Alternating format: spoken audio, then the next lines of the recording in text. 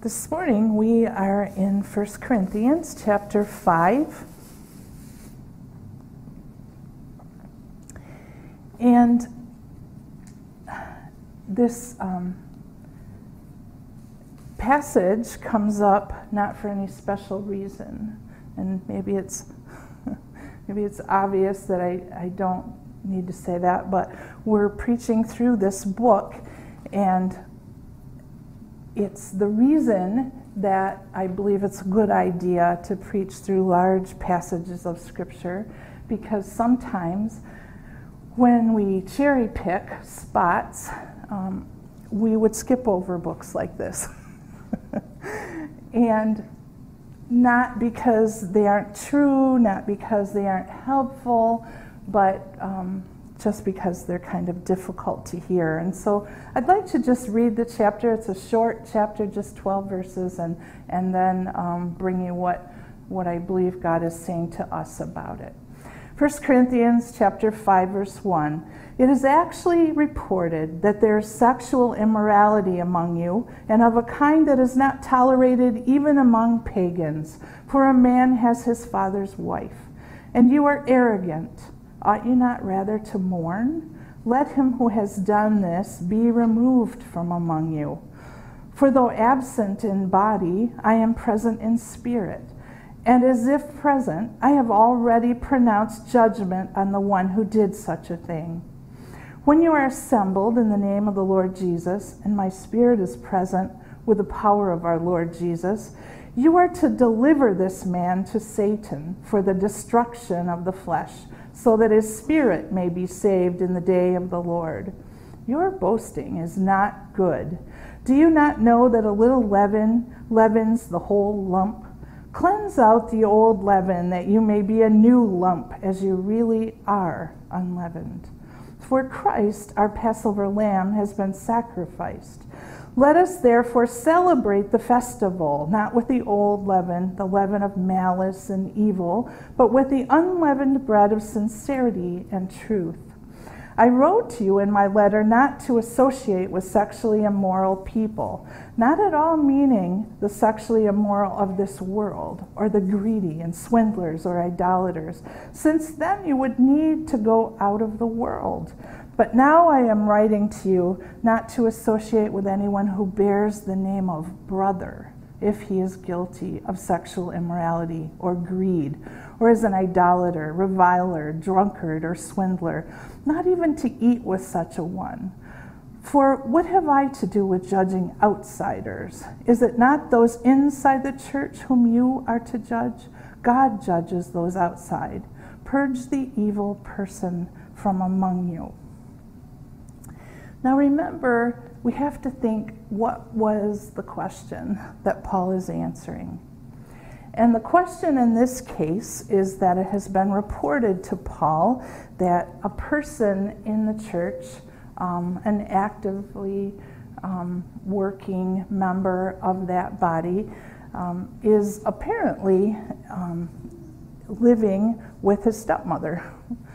And we don't believe the stepmother is a member of the church. That's assuming something. But remember, at this time, it's not only just about men anymore, that the woman would have also been called out as, as doing something wrong. And that's why um, people who study this passage believe that, that the man is a member of the church.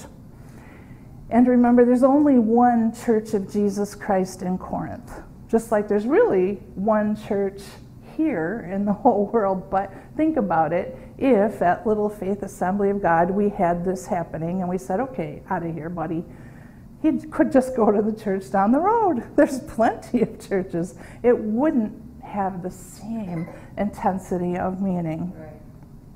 Also, Paul is answering this question after time has gone by, we don't know how much time, but Paul wasn't really close and he had heard about it. So it has been allowed to exist, to occur, to go on in the church, and nothing's been done about it that would have been short of just saying, you're just going to have to go.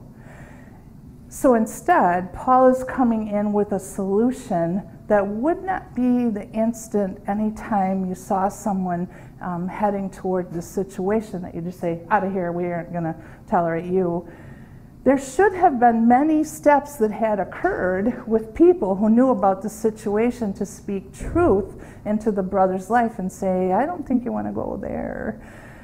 But that apparently had not happened. They were, um, as many people are today, thinking that the church needs to be friendly, that if we are um, hard on people, they will just leave and then they won't get a chance to hear about Jesus. And, and they might be, as this says so um, sharply, delivered over to Satan. They might lose out with the Lord. So, why would we want to do that? A difficulty arises whenever we, as the church, even the little bit of the church that's here, look the other way and pretend we don't notice when someone who is our brother or sister in Christ is heading into serious error. This one happens to be sexual immorality, but you see, he mentions other things in the passage, not, not that that's what he's calling out, but he's putting right alongside here um, other things, even just being greedy or, or swindler, someone who's dishonest, you know, in your the way that you um, deal with people with money or assets or something.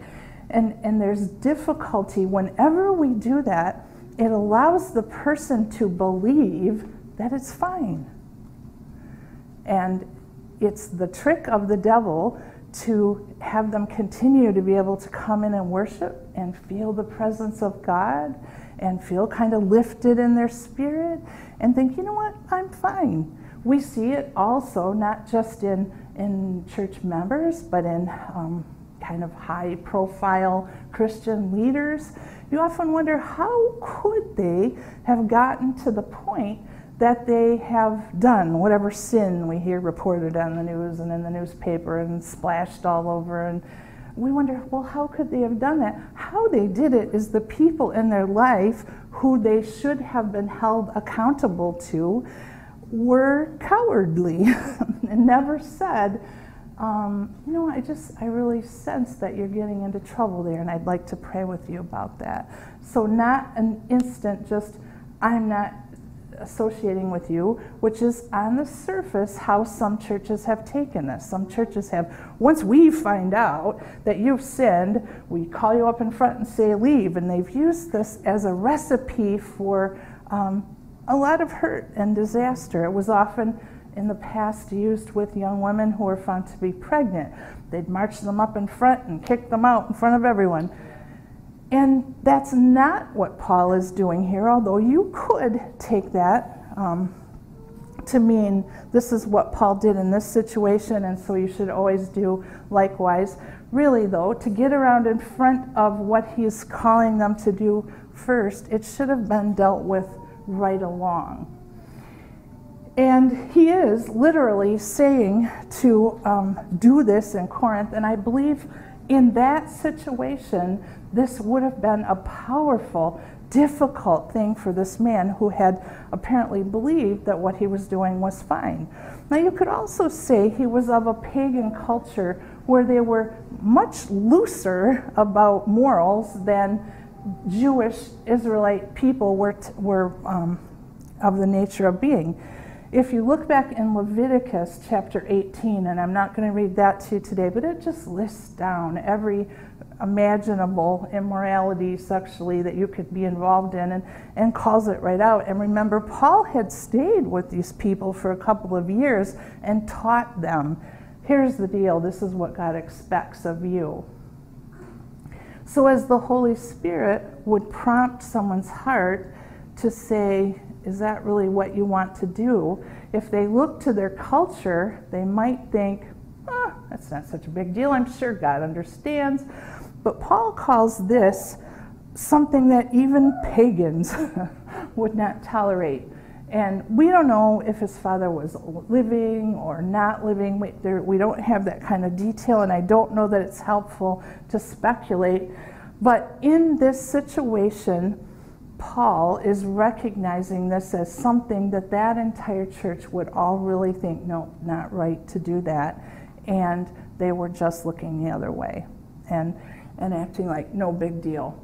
So we need to think about that um, as we're going forward, as we're growing, and we need to be brave about it and not um, because in our society it is very common nowadays for um, young people to give it a try, you know, and live together. They don't want to have the encumbrance of a um, marriage that's difficult to get out of. You know, in, in the Jewish culture at this time, all a man had to do in front of two witnesses is say to his wife, I divorce you. And it was done.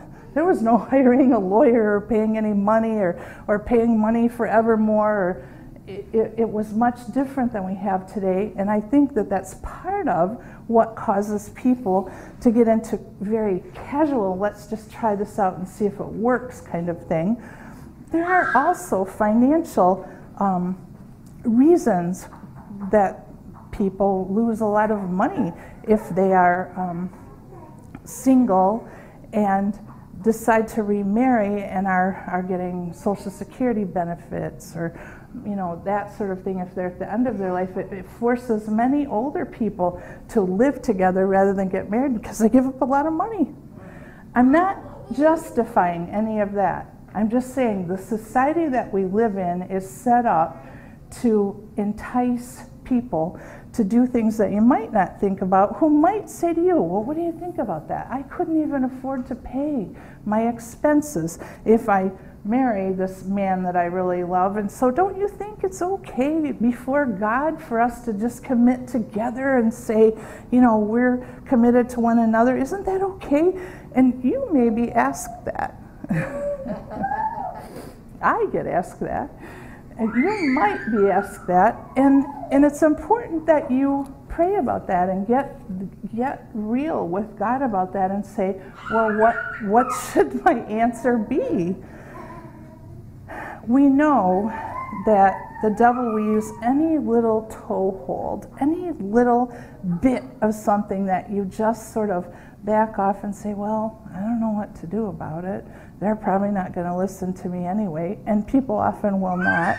Um, I'm not saying that just because they ask and you tell them what you think, if they're adults, they can do whatever they want anyway. And I'm not saying that we would not welcome people here to worship with us who hadn't seen it our way yet. But they cannot be part of some sort of close, prayerful supported membership of our church because God says they can't. You know, he just says don't. And, and that's really the point that this man, when Paul says it's different, if it's a brother in Christ who's doing this, you, you've already let this go this long. You've really got to call sin sin. He talks about this thing about leaven. And leaven, um, the, the NIV or some of the newer translations say that as yeast. But really, yeast that I buy in a little package at the store is pretty clean and pure. It is, you know, something that will make your bread dough rise. But at this time, what they're talking about with leaven was more like what we might call sourdough. They would save back a little lump of the dough to sit over in a spot and ferment and take a bit of that to add to their fresh dough when they made it, and it would cause the dough to rise at the time of Passover, they were taught um, to clean their whole house and make sure there was no leaven left in there. And they had to start over, and they started over by having flat, unraised bread. And that's what they ate during Passover. And that was to teach them about the nature of sin. And the nature of sin, and why he brings it in here, is to say, if you just let some little thing go and think, I'm not going to cause offense and be so judgmental about that, he's saying it's just like that bit of really rotting dough that you take a tiny bit and add to your fresh. And he's saying, now Jesus is our Passover lamb. And we're no longer celebrating Passover like that, but with our very life, don't let that old leaven exist You are new, fresh lump of dough. I know that's not a very flattering thing to call you, but you are new, fresh lump of dough. No sin there. When you say, Jesus, be Lord of my life, He takes away our sin.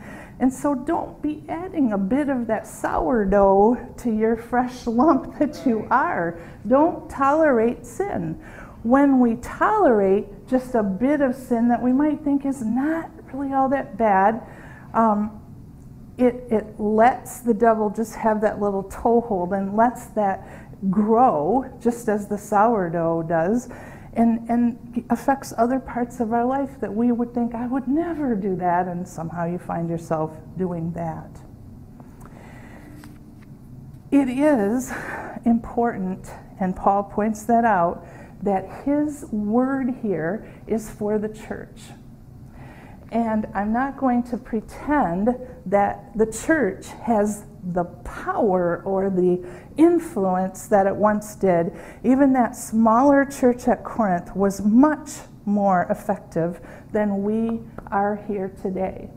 I don't believe in my heart that God purposely said, have denominations. I've heard that preached, that we have so many denominations because people are all so different. And there's one for whatever your personality is, and I, I think that's just not true. So we live today in 2016 in a world that we did not create, that we didn't come up with the idea, that we're just sort of thrust into that. And it would be on our own impossible to fix. But I think we often think of asking God for, when we say ask God for the impossible, we're praying about the small things that are bugging us in our life. And God is looking for somebody to pray the big prayers, to pray the prayers about why is there racism and hatred and war and bad stuff in our world? And not just to throw up their hands and say, well, I'm just little me, I can't do anything about that. Or why is the church so segmented and so um, one thinks they're right and the other thinks they're right, and so they cannot really agree on things, and so they're we're made powerless by our by our divisions. And we could say, well, that's nothing I did. I don't know. I'm just here. I'm coming to one I like, and it's all right. That's the kind of big prayer that God is calling us to pray to say, God, what about this? I don't really think this is, is the way you saw things going. And I could not possibly do even one little thing about it other than maybe be friends with somebody in another denomination who says something mean. Just still show love. You can do little things like that. But God, what is it that you see me in my life and in the church I attend and in my family and in the circles of influence that I have? Use me to make things right. Now we know that one day Jesus will come back and make things right for good and all. But that does not give us really the excuse that we've used it to just say, well, the world's going to be terrible anyway, so we expected that and I'm just not going to worry about it. It really doesn't give us that kind of thing. That's like saying, I'm just going to throw my trash on the highway because everybody else is doing it and it's a mess. Well, that answer, that kind of lazy answer about woe is me, is never the godly answer. He calls us to be, he says, salt, to be light where we go. And you cannot ignore salt. If you have water and it's salty, you'll notice that. You cannot ignore light when you're in a dark place, even a tiny candle, even a teeny little match lit. It catches people's attention, it has an effect. That's what he's called us to be in every situation that we are in. And that's why we cannot tolerate sin in our own life, in the life of a sister or brother, and that it isn't being mean to call out someone for their sin. It's being mean. It's not caring enough to mention it to you. That that's being. That's showing no love, no consideration. That we will just allow people to just plod along in sin and turn our backs and not notice, that's the ultimate I don't give a care about you. So that's how I see um, 1 Corinthians chapter 5.